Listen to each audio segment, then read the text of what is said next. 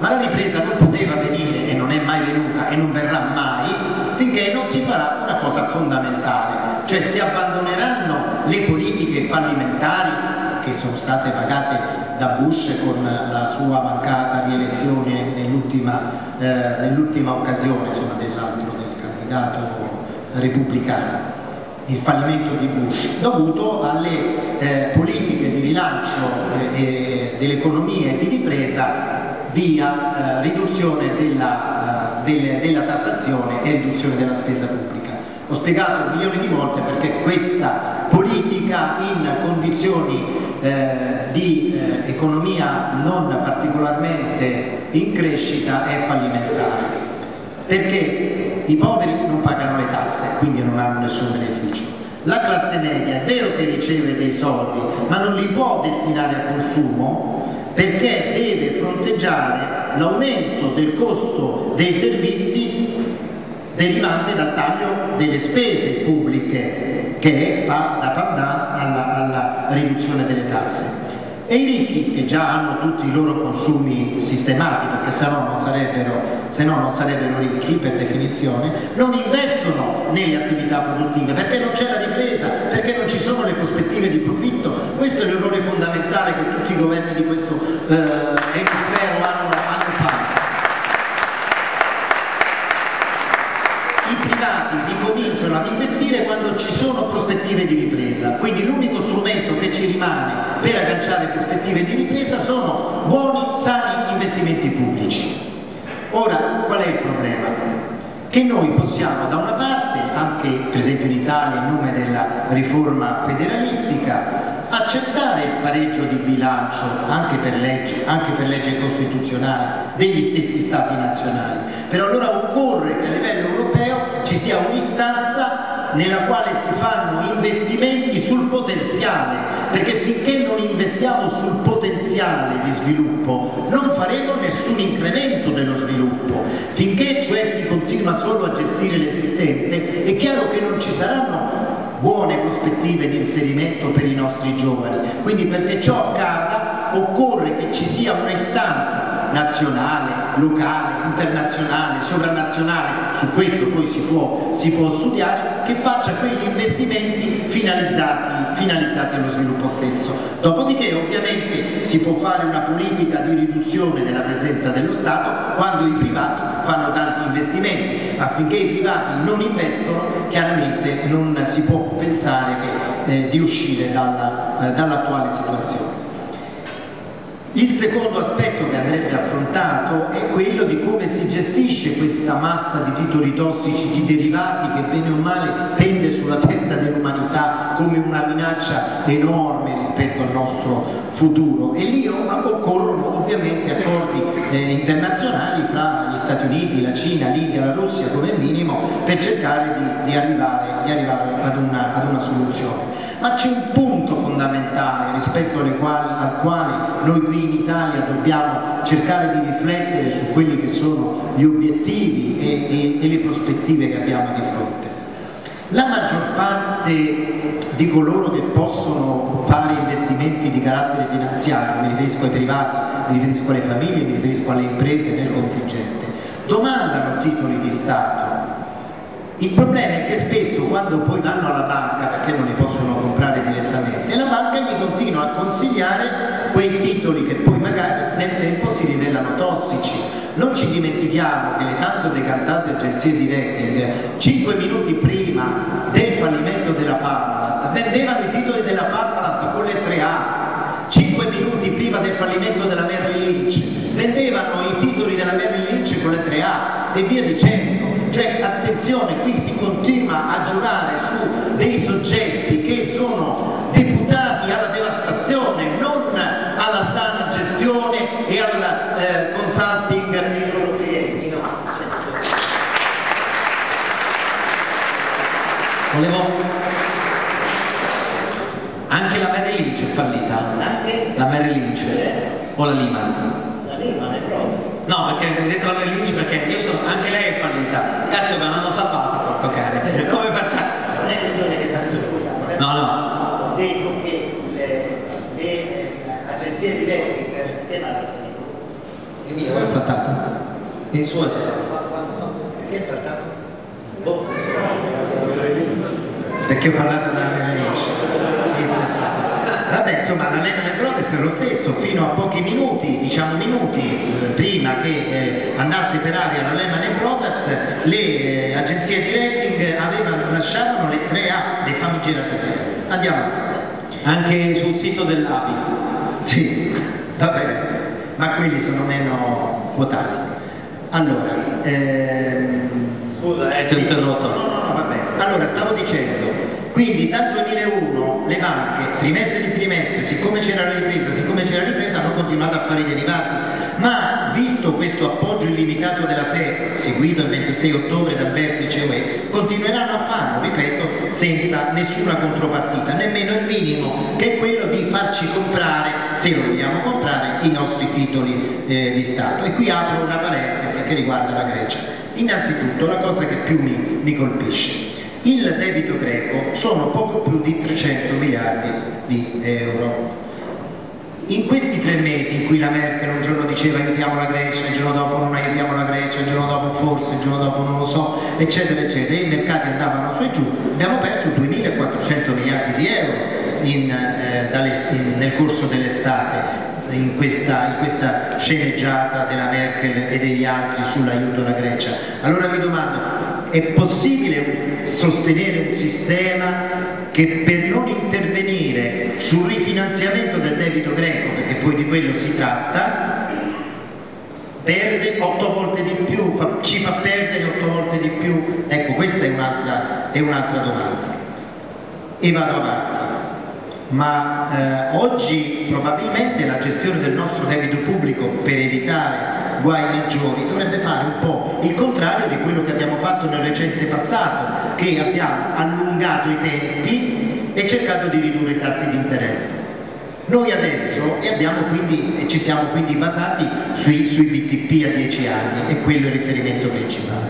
Invece adesso bisognerebbe emettere titoli quinquennali al 4%, ammettendone l'acquisto non solo pronti contro termine come è normale, ma anche con titoli a più lunga scadenza e a più alto tasso di interesse, in modo di ottenere un abbassamento di tutto il, il debito e una credibilità nella solvibilità del nostro, del nostro sistema. Non ci costerebbe niente, anzi ci metterebbe in condizioni di gestire meglio il debito, ma sono idee che si sa perché non devono venire fuori.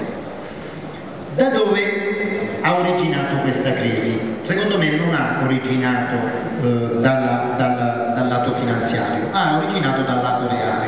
Il problema fondamentale è che il nostro è un sistema che premia il peggior produttore, mi spiego meglio. Noi ormai abbiamo mutuato, qualche dubbio ci sta avvenendo finalmente, il fondamentale paradigma dei nostri sistemi, e cioè che i costi vanno minimizzati perché parliamo di microeconomia e sappiamo che cosa significhi fare impresa, ma poi ci dimentichiamo tutto quando passiamo alla macroeconomia e pretendiamo che quelle stesse voci che sono il lavoro, l'ambiente la sanità siano massimizzati perché lì nella macroeconomia diventano valore.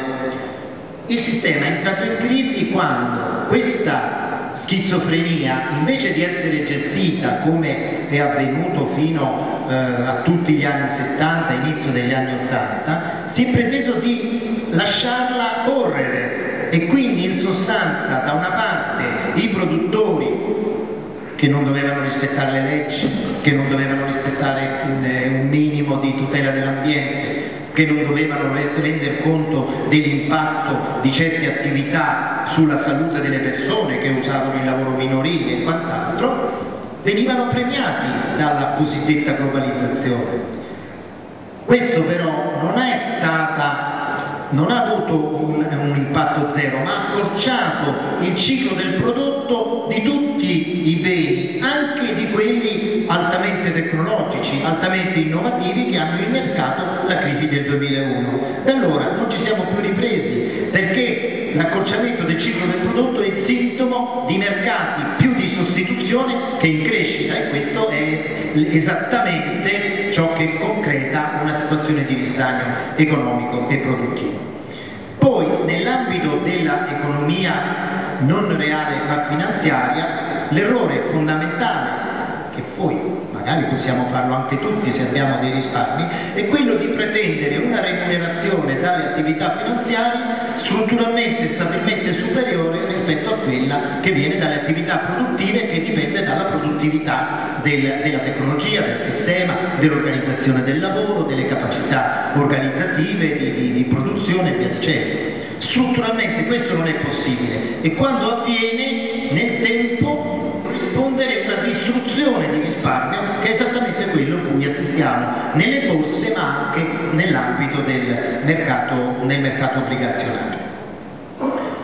Ci sono tanti modi per, per uscire da questa, da questa, situazione, per esempio nel mio libro che tu hai fatto vedere si fa un ragionamento sul fatto che nel passato eh, il, il, sistema si basava su una doppia, su una tripla circolazione monetaria e che non è vero niente, che la moneta unica sia la panacea di tutti i mali, anzi si, si rischia esattamente il contrario, che la moneta unica diventi insostenibile se non ammette invece la circolazione di altre 5 di, di, altre, di, altre, monete, quello però è là a disposizione, non è che 5 minuti posso spiegare la di circolazione. Monetaria. Eh, adesso facciamo un piccolo, per concludere, un piccolo programmino di, di governo prima di arrivare a una conclusione, visto che sostanzialmente ho visto un passaggio di una cosa di, di Mario Monti che c'era, e cioè, anche se in modo meno chiaro di come la sto per dire io, ma c'era cioè sostanzialmente noi dobbiamo per sanare i conti pubblici ammettere tutte quelle misure che non riducono le possibilità del nostro sviluppo di lì a sei mesi, a 12 mesi. Questo è stato l'errore dei governi precedenti, compresi quelli di centro-sinistra. Noi dobbiamo cioè ammettere tutte quelle misure che apportano risorse o riducono anche le spese pubbliche ma non minando le basi dello sviluppo a 12 mesi perché quando poi noi riduciamo il deficit ma a 12 mesi eh, prevediamo che non ci sarà sviluppo i cosiddetti mercati ci penalizzano e quindi ci riportano indietro. Facciamo due esempi. Se io metto il TFR in busta paga Sicuramente faccio crescere i consumi, sicuramente faccio crescere le entrate dello Stato, spiazzo i signori della previdenza complementare, ma in questo momento più che di previdenza complementare dobbiamo pensare a come passare la nottata e quindi stimolare lo sviluppo anche attraverso la leva dei consumi, per fare un esempio. Se io riduco di 50 euro invece, anche bloccando gli stipendi, eh, il, le remunerazioni dei, dei, dipendenti pubblici, per fare un esempio, ho calcolato che si ha un effetto in un anno, riducendo di 50 euro al mese gli stipendi dei dipendenti pubblici, si ha un effetto di, di perdita di 7.800 posti di lavoro diciamo, nella, nel campo dell'economia diciamo così, privata. Ma questi 7.800 in meno significa poi alla fine dell'anno che avremo meno versamenti previdenziali e quindi avremo un tendenziale disavanzo dell'Inps. Avremo aumentato gli ammortizzatori sociali almeno per una parte di questi 7.800 e quindi ci sarà stato un aumento della spesa pubblica.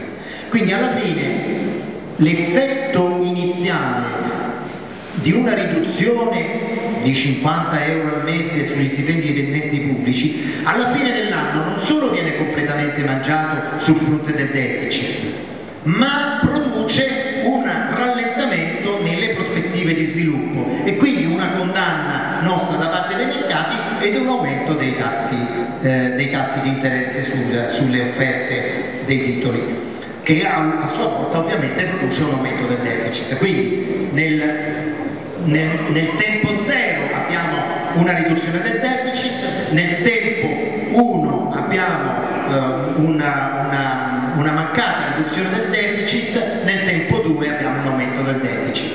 Ecco perché dobbiamo uscire da questo, finito, eh, da questa cosa.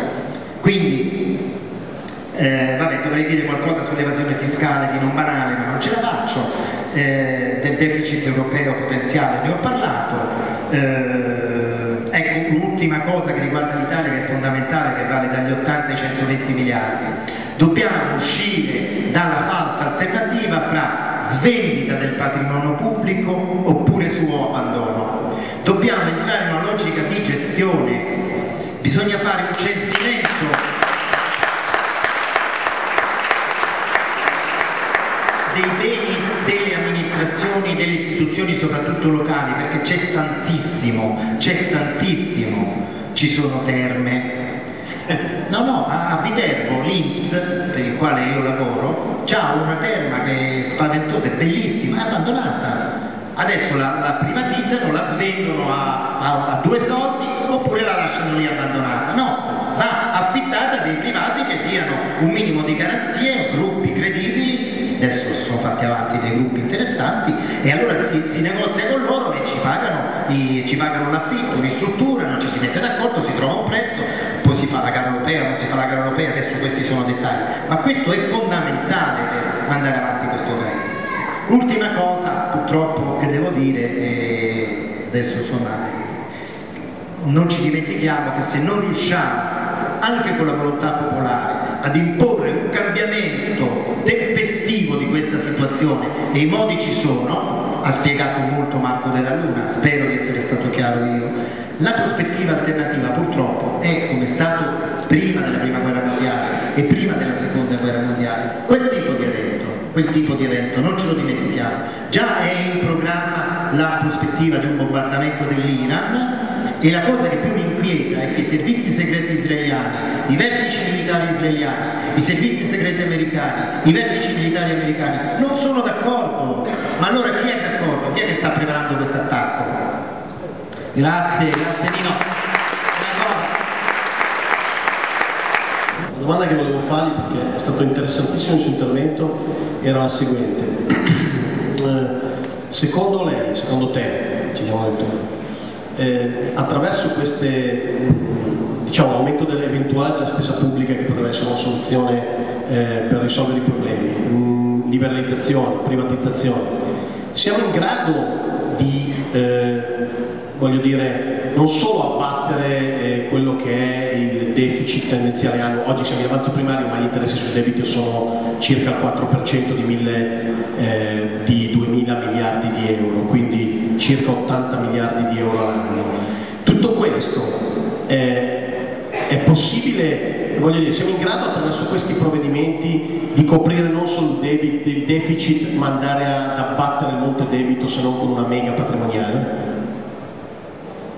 Ma, eh, io dovessi, potessi scegliere eviterei la, la mega patrimoniale Preferirei invece un'azione intelligente sui mercati secondari perché poi vedete per quanto riguarda i cosiddetti debiti sovrani i problemi nascono sui mercati secondari, cioè tutte quelle persone che eh, acquistano titoli a 10 anni e poi devono liquidizzare prima. Allora lì diventa particolarmente importante la valutazione del paese perché c'è la, la, la, svalutazione del, del credito da parte dei però se poi ci mettono il carico da 90 queste agenzie di rating occorre che ci siano degli interventi per esempio il fondo salva stati che in sigla è impronunciabile poi mi domando quando si fanno le politiche della comunicazione si spendono centinaia di eh, milioni di euro per la comunicazione a livello dell'Unione Europea perché non si riesca a trovare una sigla più, più facile da esprimere che FSF Vabbè.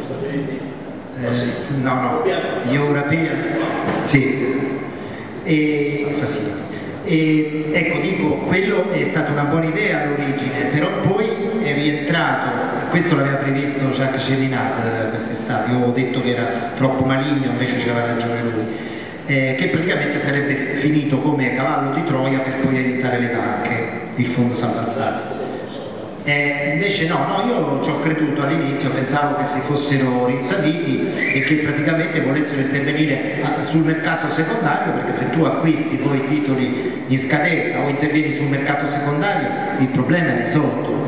Tra l'altro, ripeto, alle nostre aste, quando si, si, vendono i titoli, le nostre aste non è che vanno deserte o non si riesce a, a piazzare tutti, tutti i titoli, c'è di più, la gente ne vuole di più e non ci sono. Quindi perché aumentano i tassi di interesse? Dovrebbero calare i tassi di interesse, no? Cioè, allora rivolgiamoci solo al mercato interno, paradossalmente. Inutile che li vendiamo all'estero e per vendere qualche miliardo all'estero facciamo aumentare il tasso di interesse su tutta l'emissione. Fra l'altro quando si, vendere, eh, si devono vendere obbligazioni, se ti servono 10 miliardi e ne vendi 9 a un prezzo basso, ti conviene chiudere lì, non che per vendere l'ultimo pezzo fai aumentare lo spread su tutti i 10 miliardi. Però ecco, purtroppo queste sono cose su cui dobbiamo, dobbiamo interrogarci, perché come parafrasando quello che dissi la prima volta che tornai dal Congo, dove c'è mio fratello missionario, che partì con l'idea che le politiche monetarie sbagliate avevano determinato il genocidio, invece tornai dicendo che il genocidio era l'obiettivo e le politiche economiche sbagliate il modo per conseguirlo. Io adesso mi domando, no, di fronte al rapporto fra eh, debito della Grecia e, otto volte di più di perdite nelle borse ogni volta che la Grecia sì, Grecia no. Eh, questi eh, 16 trilioni della Fed con prospettiva di arrivare a 100 trilioni che non ce li hanno nemmeno, eh, non, non ce la fanno neanche materialmente a stampare tutti quei dollari. No, non è che per caso c'è qualcuno che invece preferisce la catastrofe finanziaria e quindi dobbiamo fermarlo in tempo nel nostro interesse, come si dice sempre, dei nostri figli, ma anche del nostro, perché non sono dei nostri figli, finché siamo in tempo. Ecco, questa è la domanda che, la domanda delle domande oggi è questa, perché se no dice, ma come siamo governati da gente che proprio non riesce a capire come funziona l'economia, come funziona la finanza, oppure c'è qualcuno che vuole questo risultato perché vuole cavarsi dai pasticci che ha combinato in questi anni.